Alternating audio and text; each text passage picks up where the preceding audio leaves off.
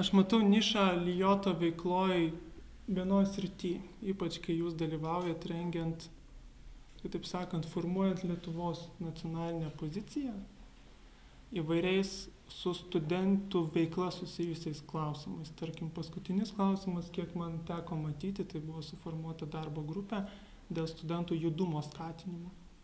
Tai yra mhm. konkrečiai visų studentų klausimas ir bent jau Elsasas ir Elsasas turėtų stipriai prisidėti formuojant šią nuomonę.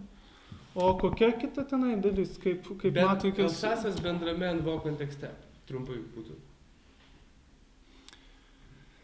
Elsasas pirmiausia turi atstovauti studentų interesams ir spręsti specifinius klausimus. Tačiau, kad mes galėtumėm dirbti bendrai, aš manau, yra labai daug būdų bendradarbiavimą skatinti. Nes dabar visgi organizacijos dauguma yra susikoncentravusios į savo specifines problemas. Tai mes turime tą pačią tarybą, įmanoma daryti išplėstinius tarybos posėdžius, pasikviečiant kitus narius, jeigu mes ir ieškoti tam tikrų bendradarbiavimo nišų.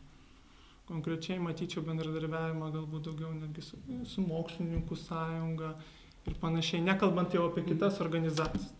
Tiesiog manau, reikėtų daugiau kalbėjimo šitoje vietoje. Na, aš manau, kad iš tikrųjų Elsasas, kaip čia pasakyti, nu, tik nestovi vietoje ir ganėtinai aktyviai bendradarbiauja su kitais Ilioto nariais. Na, kaip pavyzdys, jeigu būna kas nors susijusi su nepilnamečiais moksleiviais ar ką nors, mes visada bendravome su Lietuvos moksleivių sąjunga ar Lietuvos moks, mokinių parlamentu, tiesiog neliot nariai.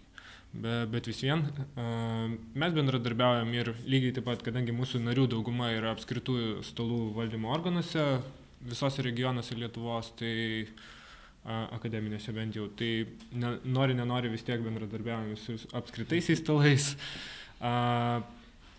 Lygiai taip pat yra bendradarbiavimas su kitom organizacijom, na, va, čia paskutinis, kas buvo, tai vėlgi tas nepilnamečio apsaugos gar, garsusis įstatymas, kur mes tikrai pritarėm ir palaikėm poziciją, kad, na, tai yra absurdas šiek tiek įvedinėti visokiais ten uh, kaip čia pasakyti, apribojimus žiūrėti televizorių, Simpsonus ir visokius kitokius dalykus, nes tas įstatymas tiesiog yra kokybiškai, visiškai, visiškai nekokybiškai parengtas. Lenkai jau jį kopijuot baigia.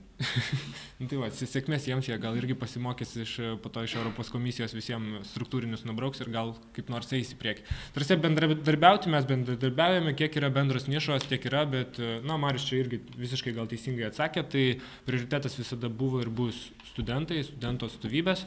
O tiek, kiek yra bendrų veiklų, mes visada jas sužinome ir visada bendradarbiavame. Bet dirbtinai skatinti šito dalyko, lėjimas į dirbtinę veiklą, įtakos ten kažkokios politikos, ypač, na, Lijote yra daug ir politinių organizacijų jaunimo, tai aš nemanau, kad tai turėtų būti daroma.